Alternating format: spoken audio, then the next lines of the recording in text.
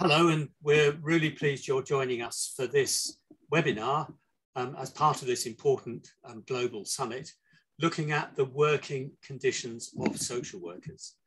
I'm David Jones. I was president of the International Federation of Social Workers a good few years ago, but now I'm the chair of the steering group that is supporting this project that we're going to talk to you about um, today. And with me in a conversation about the project is Professor Jermaine Ravalier, who's one of the leading world experts on all of these issues. So Jermaine, could you say something about yourself? Of course. Hello, everybody. My name is Jermaine Ravalier. I'm a professor of organizational psychology and social justice um, here at Bath Spa University. And um, yeah, my research is all about working conditions, particularly in social work. But we'll go into that in more depth in a little while. And we're also grateful to three other colleagues who've been an important part of this research. Paula McFadden, who is at Ulster University and has also done research on the working conditions and the well-being of social workers. Um, Silvana um, from uh, Argentina, who was the president of the International Federation of Social Workers. She's recently stepped down, but this project was very close to her heart and her interests. Uh, and Rory Truell, the uh, General Secretary of um, the Secretary General of the International Federation of Social Workers, um, who's also been a key part of the team. So what we wanted to do to start with was then look at working conditions in general and how social workers compare um, with other professions, similar professions and other um, organizations, um, and then specifically to say, well, why is IFSW and social work associations interested in this? And then we're going to give you the first quick insight into the latest survey that only finished um, earlier this year, uh, around March, April. Um, so we'll give you a, a, sneak peek, as it were, of those um, results, and then we'll talk about what we're going to do next. Um, so Jermaine, from your vast experience and all your reading about working conditions, can you tell us a little bit about what does the research tell us about working conditions of social workers and other organizations? Um, and uh, how do you go about researching this? Sure. So working conditions are key to all occupations, uh, whether we're talking about kind of frontline social workers as we would see them in, in the UK, or if we're talking about doctors or nurses or teachers or accountants or anybody, working conditions are really important. And they're so important because um, in the UK alone, over 2 million people blame work and working conditions each year for their ill health. And we know that working conditions, particularly uh, poor working conditions are related to the development of heart and cardiovascular disease and of poorer physical health in general.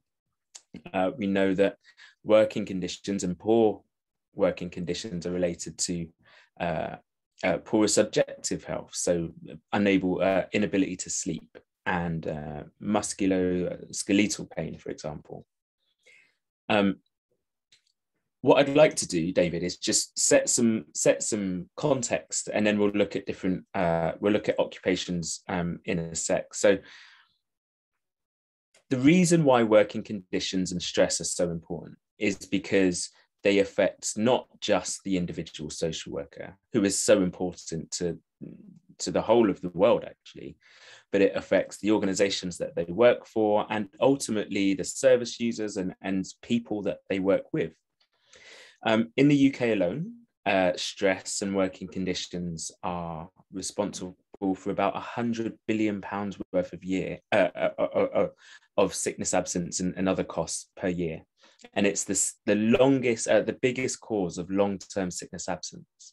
So anything that lasts over four weeks. Um, from the work that we've done with social workers in the UK over the last six or seven years, we've seen that these working conditions are really, really poor, poorer than uh, about 95% of other occupations. So you compare working conditions for social workers with, as I said, teachers and doctors and nurses and um, accountants and uh, engineers and any other occupation you can think of. And social work have amongst the worst working conditions in the UK. Now, globally, we're going to look at those results in a second too. But I guess the question is, what are working conditions? So working conditions are those um, those elements of work that you are exposed to each and every day. We can think about things like demands or workload, how much work you have to do, but equally how um, difficult that work is. So the complexity of work. We can think about support that we get from managers or support that we get from our colleagues. We can think about um, the relationships we have with other people, and we can think about how change is communicated, for example. They are all examples of working conditions. And all of the literature shows that if those working conditions are left in a poor state over uh, an extended period of time, then it's likely to lead to physical and psychological uh, impacts on the individual. So we're, we're not just talking about the physical environment, the desks and the chairs, and whether you've got a telephone and those things. We're talking about relationships with managers, the sort of work that people are doing, the, the amount of control they have over their work. So we're, we're talking about quite a broad range of things that affect people when they're in work. Exactly that, yeah. And, and um, interestingly, working conditions don't often um, relate to the physical stuff, as, as you've been saying. But interestingly, in every survey, pretty much that I've ever run in um, social work, and there have been lots, we've spoken to tens of thousands of social workers across the years. Um, no one has ever really mentioned the physical, the physical stuff. It is all of those other things that we've been talking about, David. Um, so, David, why why are working conditions? Why is this important for IFSW and for social work organisations uh, generally? Well, obviously, um, as you've said, um, the, the, working environment, the relationships with managers, the um, sort of work that people are doing affects people's well-being. And when your well-being is affected, when your psychology or your physical health is, is uh, affected negatively, then you're not able to do such good work you're not able to relate so well to the service users, the communities, the individuals you're working with. Um, and uh, that is a, a real um, a problem. It affects people in a very practical, real way, and it makes it more difficult to do the work. Um, so that's a really important thing. We're looking after the, the well-being of social workers themselves. That's important in its own right, but it's not only about that. It's about the community and the way, it, the, the, the place that people are set. And if we want really good social work, and if we want really good social environment, if we even if we want to achieve the SDGs, the so the, the uh, Sustainable Development Goals, uh, talking at those big levels, we need social workers who are able to do the work in an effective way. And it's fantastic that social workers achieve so much in such a negative context. Actually, they're uh, absolutely amazing that, that what, what can be achieved. But think what could be done if the working environment was just that little bit better. And there are messages also, of course, for managers and the way people organize um, social work. And that's also important for us to look at. Um, so those are some of the things that the IFSW wants to campaign, campaign on with unions and, and with others. And of course, what this global summit is all about, Jermaine. Great. So is it worth, I mean, do we need to unpack that more or, or shall we move on to looking at what the survey has, has done and what we've been trying to do? Perhaps you could say a little about the tools that, that you use. How do we measure these, these um, yeah. very abstract concepts? Yeah. So um, I, I, think it's probably clear, but I, I guess just to just to to highlight that the aims of this of this whole project, this is the second in a kind of in a line of, of pieces of work that, that we'll be doing between IFSW and Bath Spa and Ulster University. Um, but the aim is to effectively to look at working conditions in social work across the world. So there's plenty of evidence in the UK now, um, and there's emerging evidence in other countries, but actually we can look at this from a broader global perspective. And that's what this does. Um, a couple of things just to highlight. First of all, it's an academic piece of work. So I'm a, I'm an I'm an academic. I'm not a social worker. I'm I'm objective. So I'm not coming into this with any preconceived ideas. Um, and ultimately, I think what we'll be able to do is show the importance of social workers, and just as David has said, the difficult situations that you tend to be working under. So the way that we are measuring working conditions is we use a, the same kind of measures each and every year. We use one measure called the Management Standards Tool, uh, which was released in the UK by the Health and Safety Executive. And it measures seven areas of the workplace, seven working conditions, those things that we've already spoken about. We also have measures of well-being as well. So psychological well-being, how, how psychologically well you are. Um, the other the other question that we have or the other set of questions that we have are some open-ended questions. Uh, and we're not going to reflect on those today but what we are going to do is just highlight the question that we asked and we asked how can we make things better? What can we do to make things better? We translated all of the questions all of the tools into six different languages i think it was. So we had english and spanish and french and Latvian and Polish and another that I can't remember off the top of my head, but into six different languages. Um, and we distributed the survey electronically uh, via IFSW links and via social media and, and, you know all of those kind of things. So that's what we did, and, and that's how we did it. And perhaps worth um, saying that we're, we're, very aware this is a groundbreaking research and doing this in social work um, across the whole world um, has never been done before. Um, uh, and uh, as, as, you say, the, the, amount of literature on the well-being of social workers is incredibly small. There is um, stuff we're being increasingly being sent material from a number of countries, but nobody has really systematically looked at this in a comparative way. Um, and we know that, that there are limitations. There are difficulties in parts of the world of getting online, um, although increasingly people are able to get online and phones are available um, and system, systems in, in, Africa and Asia, as well as in North America, Europe and uh, Latin America. Um, but we've also obviously got to take note of those limitations, but the evidence is coming out is pretty um, significant. So it's worth just looking at some of the main headlines from the latest research and knowing we're going to be building on this in two years' time. Sure. Um, so I think the headline finding, David, is we are seeing continually pretty poor working conditions for social workers across the world. Now, there are some differences when we look at differences across region, which I'll, I'll, I'll relate to shortly. But overall, we're seeing continually poor working conditions. And I think the thing that really highlights uh, these working conditions is effectively what you said earlier. Um, social workers do such a fantastic job despite having so much difficulty associated with that job with respect to the, these working conditions. So the things that we measured, we measured seven working conditions in particular and um, I will kind of reflect on which regions across the world seem to score better on certain working conditions and other others.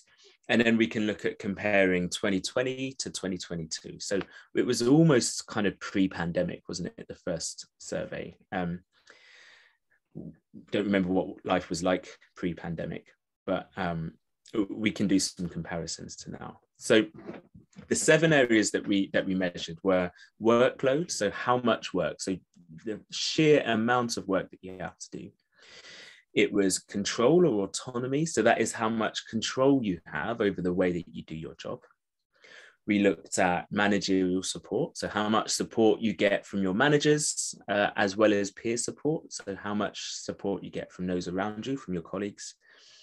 Uh, we looked at relationships, what your relationships are like with your peers and your managers. We looked at how well you understand your role and how well change is communicated across the world. Now, highlight top level uh, uh, findings. First of all, working conditions are continually poor. If we compared to the UK national average of working conditions, not just for social workers, but for all industries, we would see um, scoring in the bottom 90%, so in the bottom 10th percentile, really, really poor working conditions.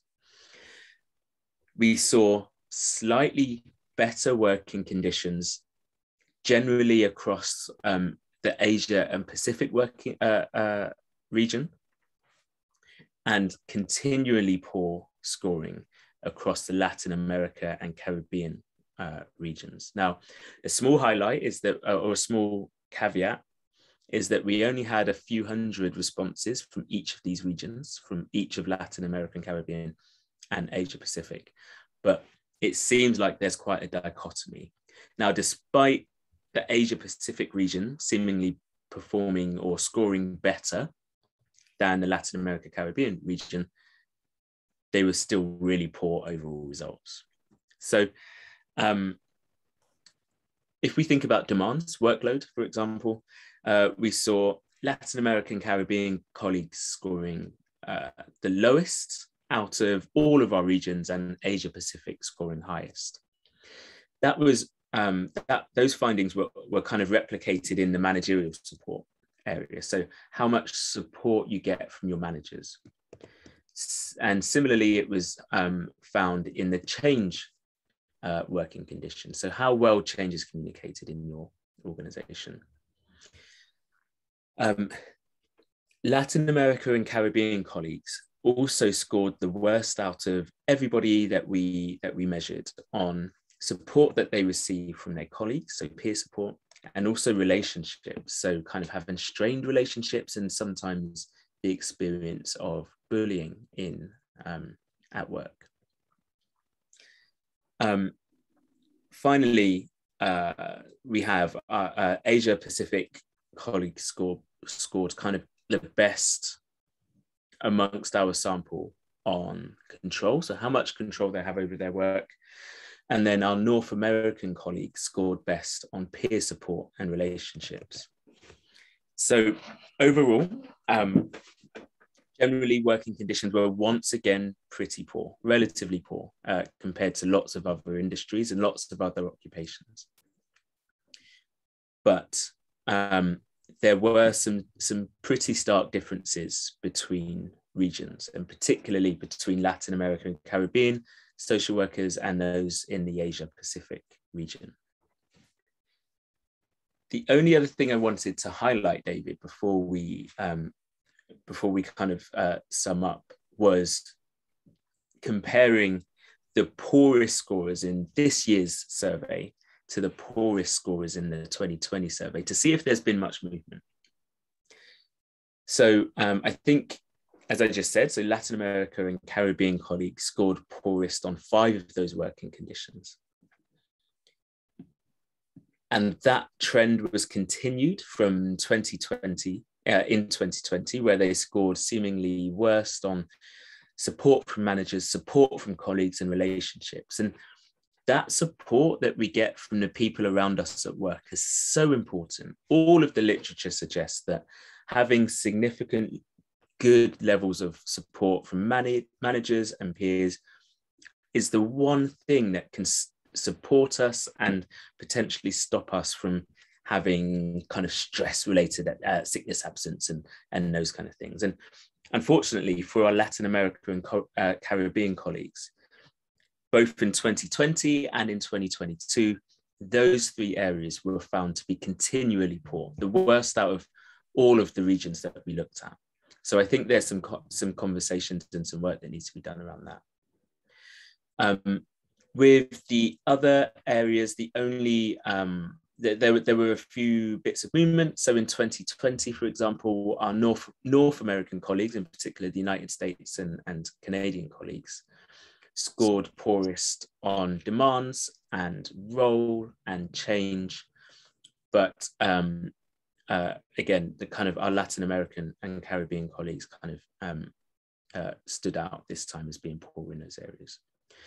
So um, some change from 2020 to 2022. There's the potential that that changes because of the people who are taking part. You know different people took part of it across the across the two years but you know across the thousands of responses that we had i think we can be relatively consistent in in in our arguments. And overall i think that peer support managerial support and relationships are so important and, and something that really needs to be to be worked on and this thank you jermaine um, and it always seems to me paradoxical in social work that our training is all about relationships and the importance of how we get on with each other um, and improving our relationships. And yet somehow, but we seem to have such difficulty applying that learning in our own work settings. And that's perhaps sometimes because managers of social workers and politicians who very often are controlling social work um, don't have that background and don't have that training, but they need to learn it. And I suppose um, if we were to say, what are we going to do with this? Well, clearly we feed it in. Um, but the, the, the, first thing to say is, as Jermaine emphasized, that this is um, objective academic research based on well-tested um, uh, instruments for research, which have been applied in a number of different settings um, and uh, Jermaine and, and uh, Paula and their teams, and we hope as the, the, the, the survey builds that we'll involve um, colleagues, academic colleagues from around the world to develop this. Um, but um, that, that this is an objective study. So we can say to the politicians, to the United Nations, to this summit, that the objective evidence is that social workers are struggling with some of the most difficult working environments of any profession and are achieving phenomenal things, but think how much more they could do with a better um, management culture and a better um, working environment. And th this is not just social workers and special pleading, it's about how we help people so that no one is left behind. That is the key um, focus of this summit. Um, so IFSW is committed to continuing this, to doing these surveys every two years, but I suppose my plea to you who are watching and those who are listening is that we need your participation in the survey in future years. We publicize it as widely as we can, um, but it is groundbreaking research. It is demonstrating the importance of social work and it's demonstrating the importance of changing the culture of social work agencies. Of course, some do it brilliantly. We know that, and that's why it's important that um, others do it as well.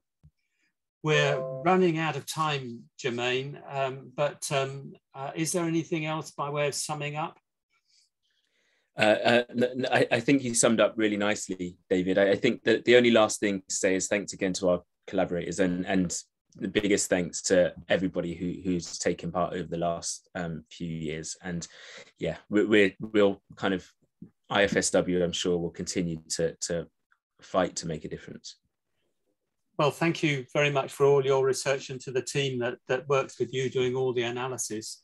Um, and it's a, a, real key message out of this um, webinar for the, the conference as a whole is that if we want to improve the social environment of people around the world, social workers are crucial to that. And if they're going to do their job effectively, they need to have a better culture, a better working environment, and that that ultimately is the responsibility of managers and of politicians who set the tone. And this is not about special pleading, it's about creating a world, a new eco-social world where no one is left behind. And social workers have an important contribution to that and their working environment can make or break that contribution. Well, we hope you found this interesting. There are academic publications that will be around. There's more material on the IFSW website, and Jermaine's articles are always worth reading. Um, so, and Paula's as well. So, thank you very much indeed for watching.